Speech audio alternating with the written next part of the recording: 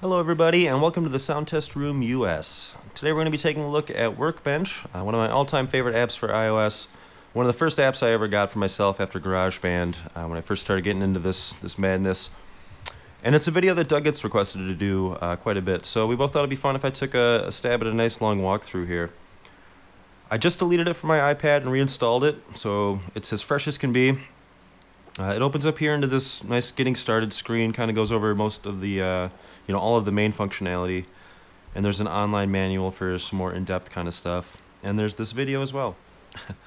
so uh, when we hit play here, we can kind of see what, what it is. It's essentially a 16-step sequencer on eight different banks. And we have two going on at the same time right now. And we can chain them together to make a single 32-step sequence if we want. And we can also chain them all together and have up to 128 steps. So you can kind of see it's moving through, and now we're now we're back over here.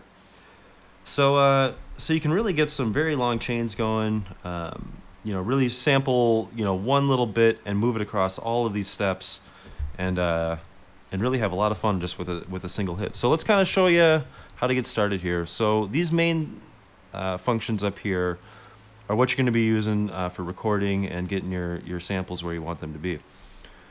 So let's just use the iPad mic for a second and we'll turn our threshold way up. This is, you know, however low the, the threshold is, it'll record at a lower volume. So this would definitely record my voice right now. If it was all the way up, it might not record my voice, but it would record, you know, a nice loud hand clap once I gave it. So let's add that there. And now we can kind of hear hear what we got going on. So that's how to sample. Now we can go to, uh, you know, mute while sampling and still be able to hear it all at the same time. Otherwise, once we have mute while sampling, when we turn on our ability to sample, it uh, this way, you know, it waits for this way, you know, it waits for something like just like that. Whereas, you know, if you're using Audiobus or something, you know, you can definitely just turn that off and not worry about it and make it more of a live performance. But this has a nice little uh, mute button there so that you can get all of your hits in cleanly, you know, even while it's still playing. So now that we have a, a hand clap there that we like, let's go to mute and copy, and let's just copy it right on top of that, that voice uh, sample there. And we can drag these all around and just kind of have fun with it, you know, just like this. Uh, see what we like. We can mute them, you know, just turn them off by tapping on them. And, uh, and yeah, we can also trigger them, you know, just by hand there. And, uh, and we can overdub on top of them. Woo!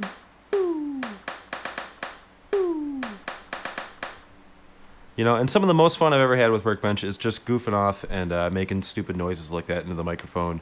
And then playing with the fancy controls and you can you know we I'll get into it in a minute but we can adjust our envelopes and uh, and just really manipulate our sounds in, in some pretty crazy ways. So that's for our main our main functionality up here. Uh, we can also export this once we're done. Uh, free record just means you know like a live a live performance there as long as you make it. Otherwise we can just record a single bar two bars and it'll just run through whatever length we set all the way up to 32 so let's uh, do two bars here and it just records on its own. And now that we've exported this, we have our options to uh, uh, iTunes file sharing, audio copy, or email it to ourselves. So let's go ahead and uh, just do iTunes file sharing there.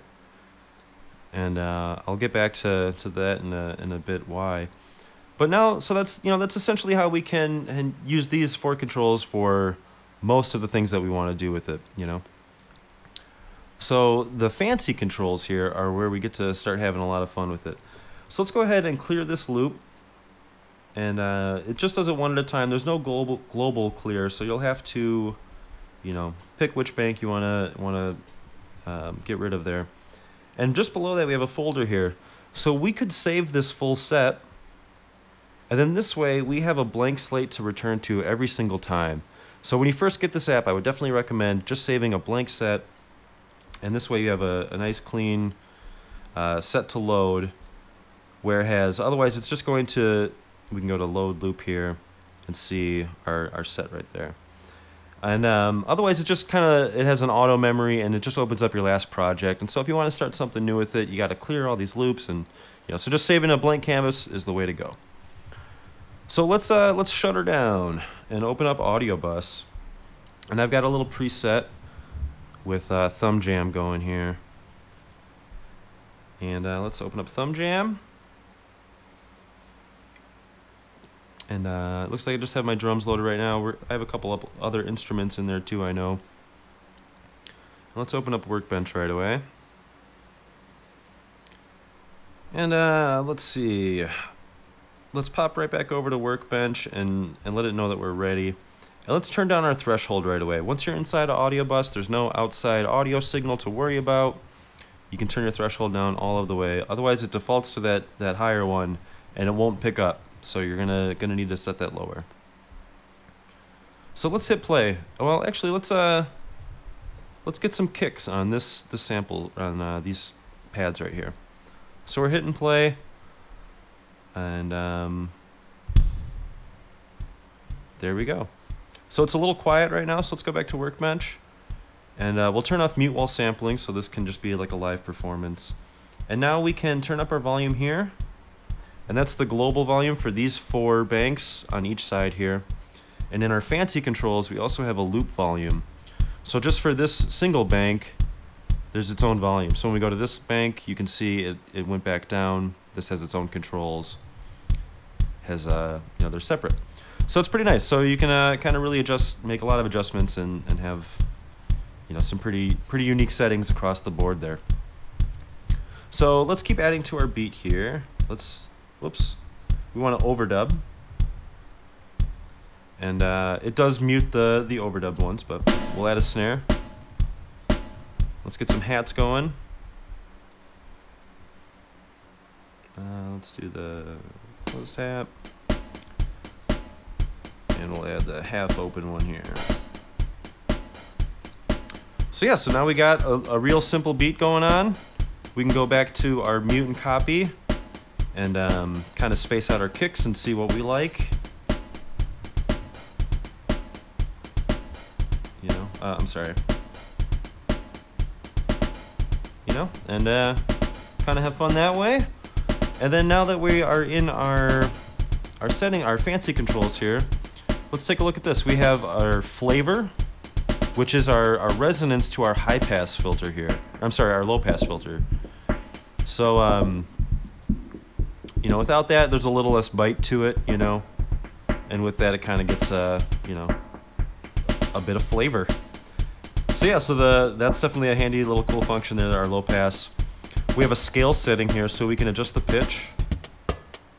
So that's at a, at a full octave above, you know, it's a full octave lower, and uh, we can set it chromatically right now in between. We have an envelope setting, so we can make these short little hits here, add more uh, uh, decay to it there at a higher release. There's our attack, slower attack. We'll do that a bit more with something a little bit more melodic here. So let's kind of, uh, now that we've kind of shown you our, our first fancy controls there, uh, also within our scale setting, we can adjust the individual steps, which is really handy. So, you know, this is a, looks like a C keyboard here, so, you know, like a minor, what is the minor there? I think that's a C minor scale. So in any case, we could just like jump within our scale here to the, the steps of whatever minor scale we want, you know, whatever scale you want. And whatever steps of the scale you want. So that's really handy. So it's good if you're just kind of kind of working on like a live performance sort of setting to use that. And that way you make sure that you jump to nice clean tones that aren't, uh, you know, major jumps. But let's uh, let's go back to our sample here and let's add in another instrument. Let's load up our our square synth or something here. Okay. So let's uh So now you can kind of see that's going there. Let's uh add in some more sounds here.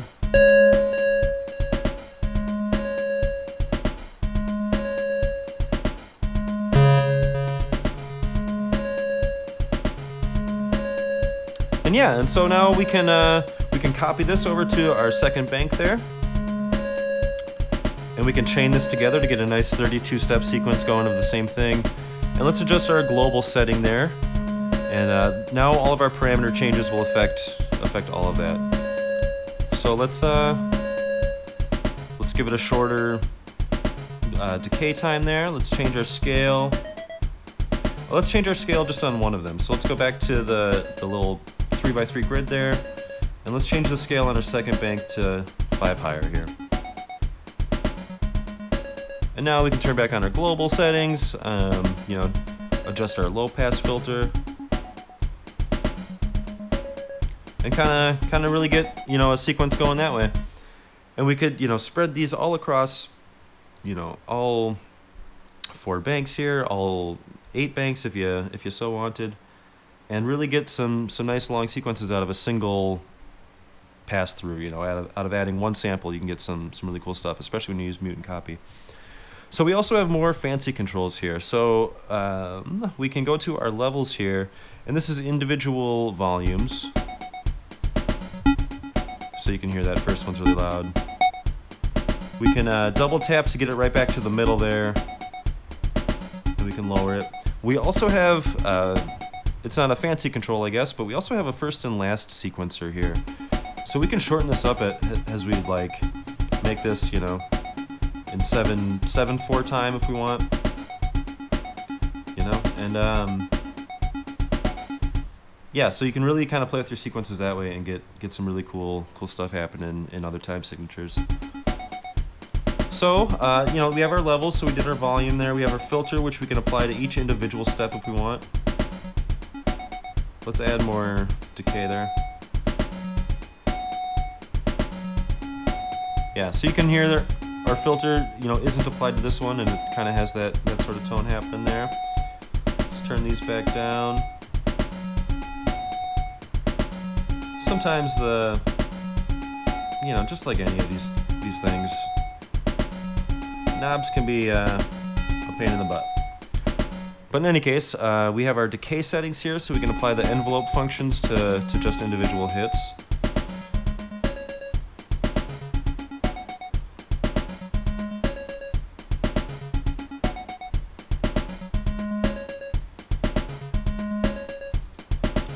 Yeah, we have echo, which we can apply. Um, that is, you know, available up here to us, so we can apply this to just a single hit. And this is synced to, to three steps here. We can also apply this globally.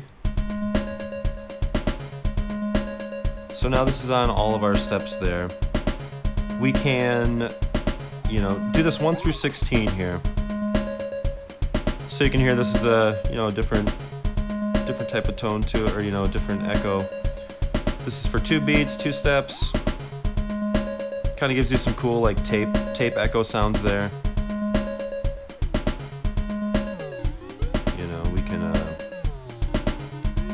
make our echo really long there. And also we can turn off our sync and now we can uh, adjust the milliseconds manually, you know, all the way up to 999. You know, we have mix and uh, feedback controls.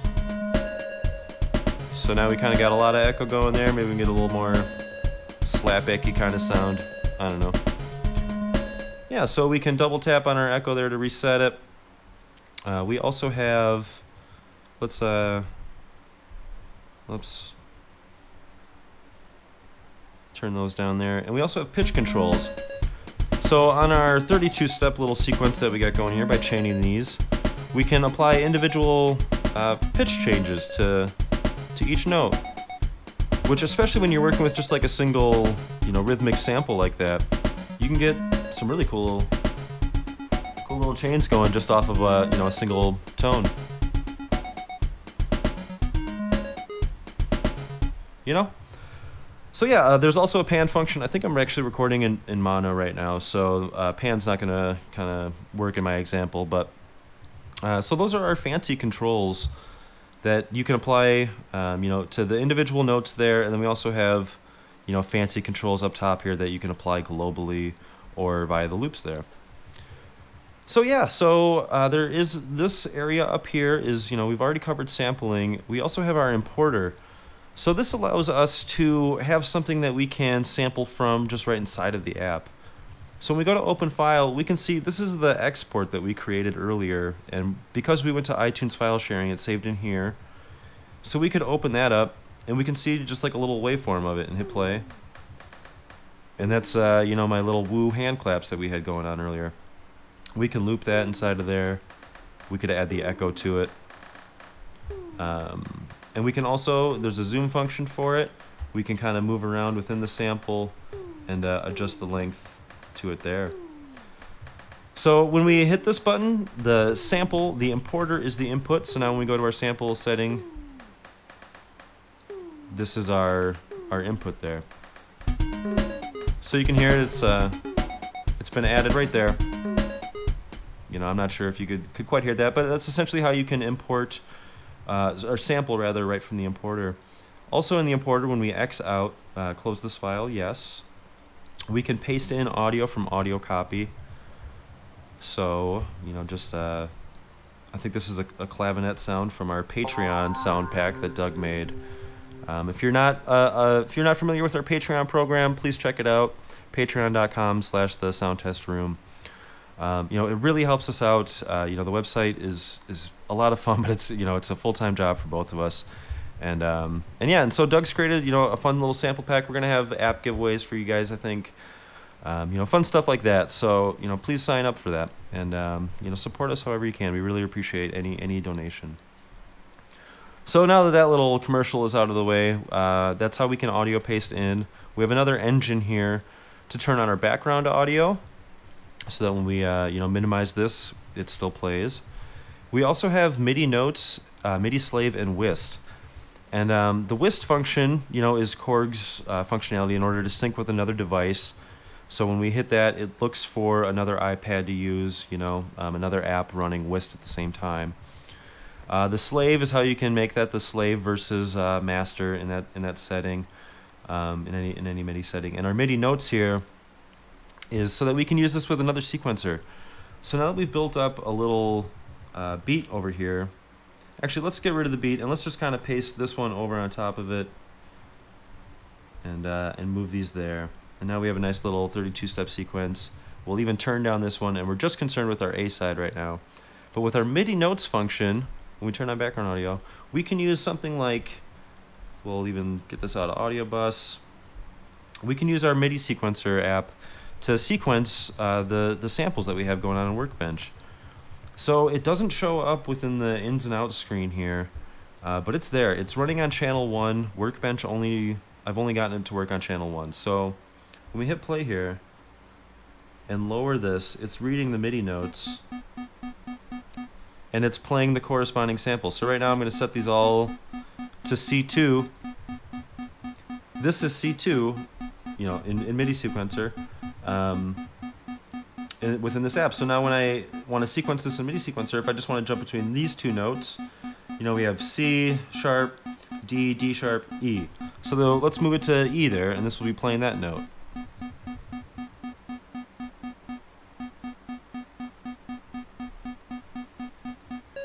So you can hear it right there. So if we wanted to, we can sequence this with another app, and um, you know the the notes correspond to 0 to 127 inside of here. So this is how it's kind of reading the MIDI notes. And that's exactly what MIDI sequencer is doing, but it's it's helpful enough to label it in the the C, you know, the, the note names there. So yeah, so you can uh, you know run this with an outside sequencer once you already have this going, and you know manipulate your samples in different ways if you want to apply the filter to, to this one and and really kind of kind of experiment that way. So yeah, we have a, a tap tap tempo, and you know this moves at lightning speed, which is kind of nice and kind of a pain in the butt at the same time. But uh, you know, yeah, it has the nice plus and minuses there. We can add a swing setting. You know, that's kind of, you know, kind of fun there. Give you a, a nice human, humanized feel, especially if we had our beat still. But uh, but yeah, so I think I've covered pretty much everything that I wanted to to touch on. You know, this is a just a really fun app. You know, it hasn't seen an update in a little while. Um, you know, it, would be great if if there was one, but as it stands, it's it's still one of my absolute favorites. So I thought it'd be fun to to make a walkthrough for it. Uh, if you have any questions or anything, you know, hit us up at the soundtestroom.com. But uh, but otherwise, we'll catch you guys next time, and I appreciate you watching. Take care.